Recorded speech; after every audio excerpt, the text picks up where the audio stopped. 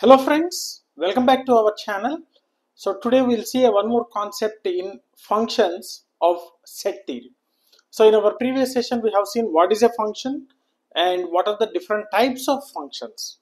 So now we'll see one more category in functions that is composition of functions.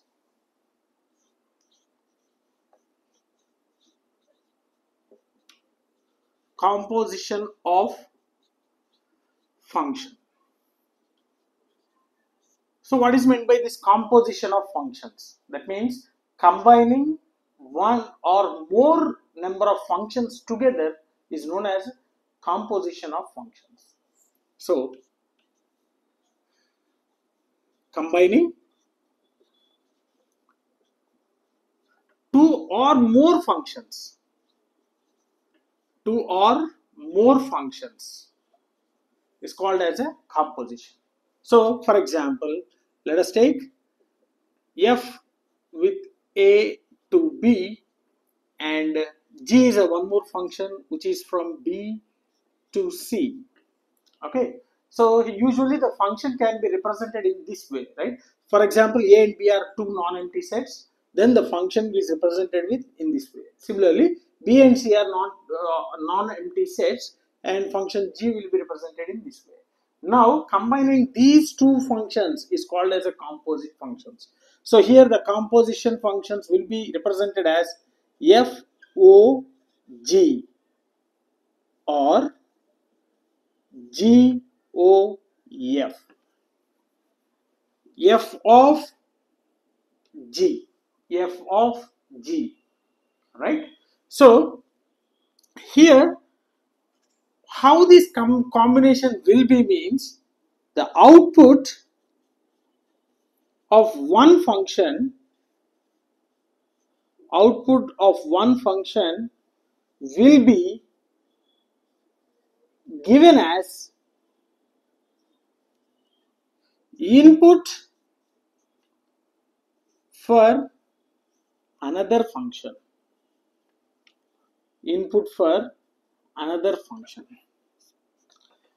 so how we are combining these two functions? We are saying it as a combination. So how we are combining means so this should be occur. So one function output should be input for another function.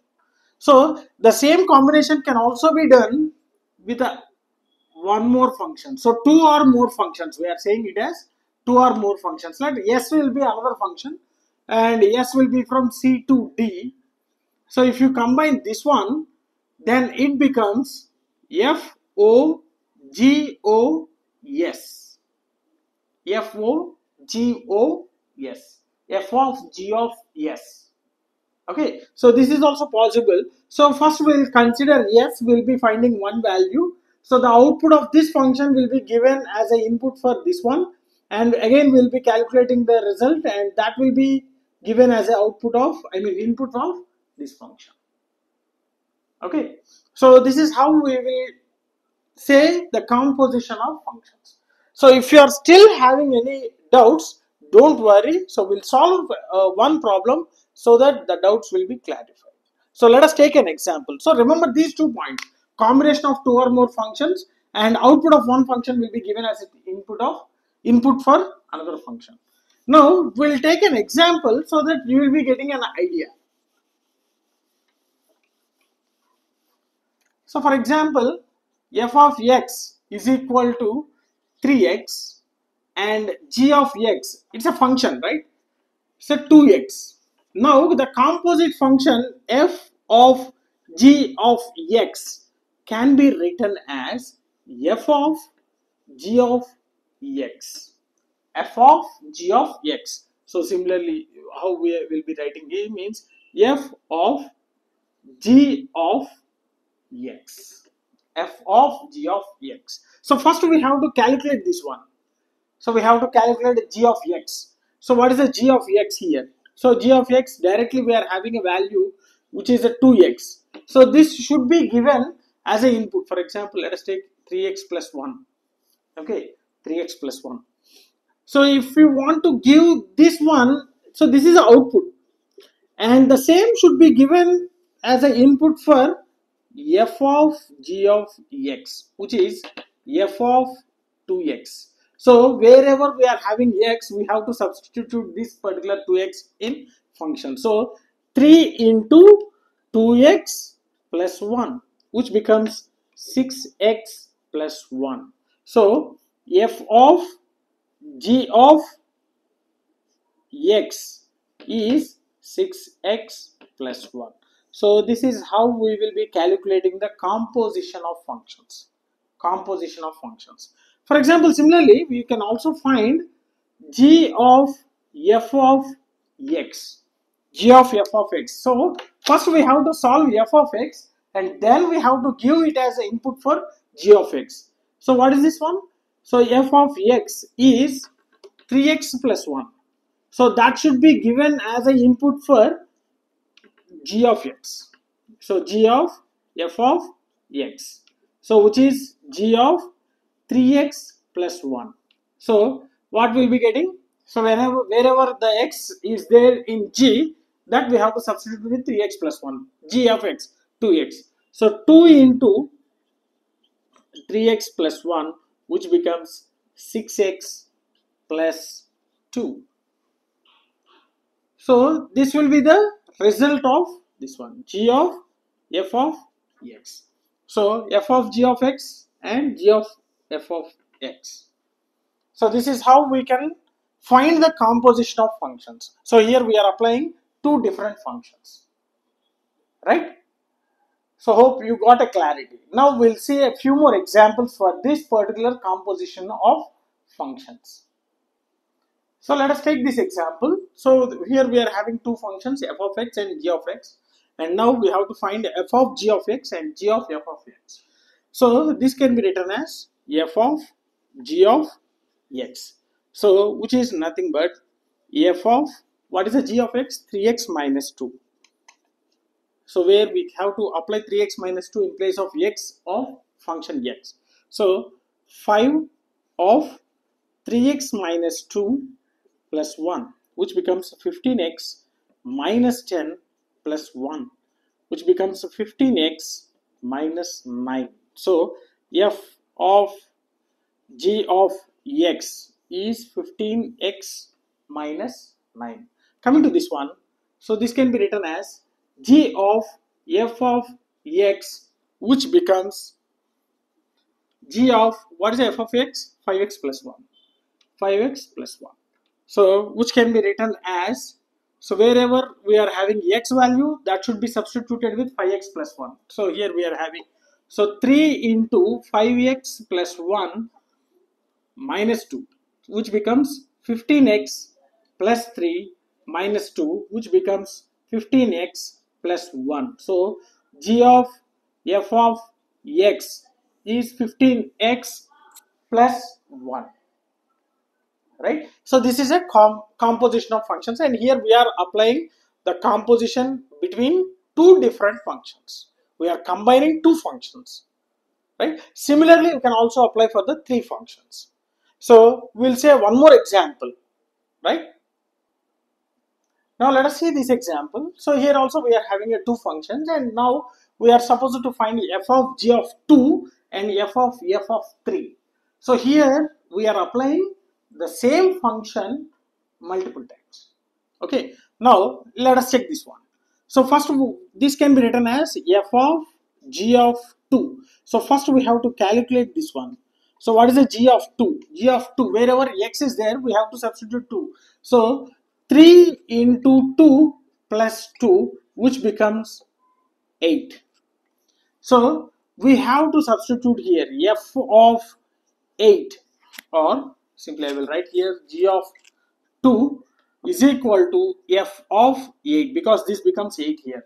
So which becomes now in place of x we have to substitute 8 in function x. So x square minus 1. So 8 square minus 1 which becomes 64 minus 1 it is 63. So f of g of 2 is 63.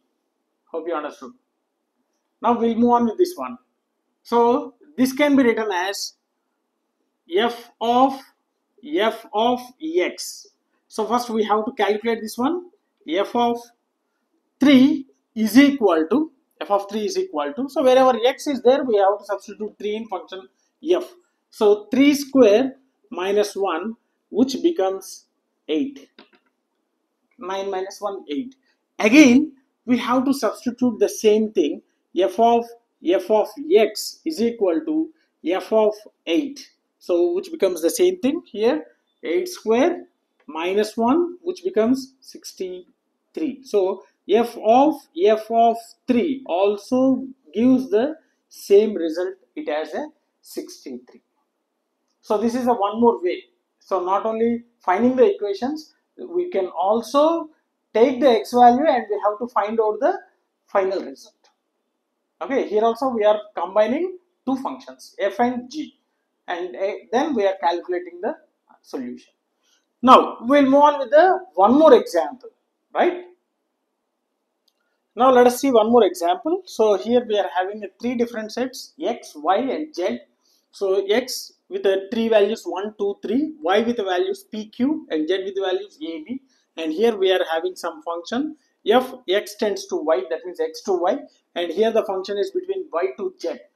And we are also having the functions a pair of uh, set elements. So 1 comma p, 2 comma q and 3 comma q for function f. And for function g we are having p comma b and q comma b. Now we are supposed to find g of f of x. Now let us start this one. What we have to do? For all x values we have to find out everything. Okay? So here x values are having 1 2 and 3 now this can be written as g of f of x can be written as g of f of x.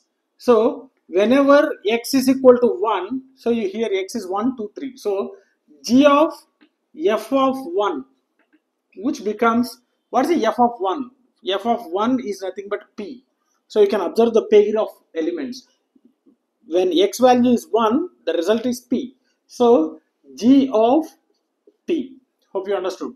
Here we are substituting for all x values 1 2 3 because here we need to find uh, the composition function for value x right? So g of f of 1 right? f of 1 means we have to apply, uh, check with the given function where it was 1 right? So when function x is 1 the result is p. So we got g of p now obviously you can see g of p in this function if if input is p the result is b so obviously it will be b right so here what happens here the first pair is whenever x is equal to 1, the result is b.